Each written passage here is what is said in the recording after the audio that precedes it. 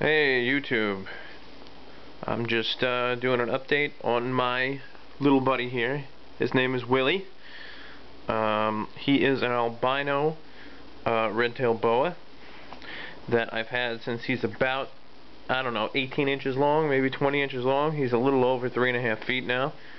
Um, I got him from somebody on Craigslist, believe it or not, who was going to euthanize him. He was uh, I don't know, like an at-home breeder or something like that, um, that was going to euthanize him because he didn't know what to do with him.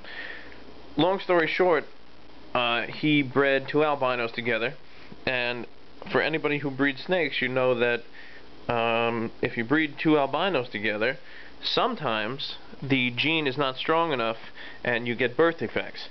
And that's exactly what Mr. Willy um, actually suffered and if we can turn him around a little bit here.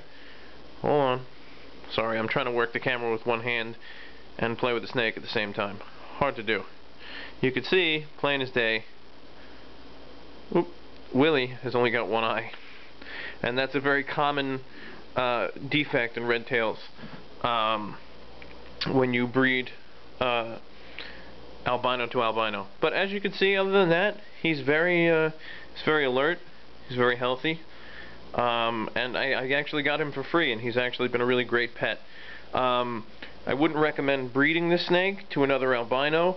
Uh, what you could do, however, is breed him to a normal and get het for albinos, or um, breed him to a het for albino, and hopefully, um, I don't know what it is with um, with boas because you get so many babies from a boa, and they're they're live breeders actually.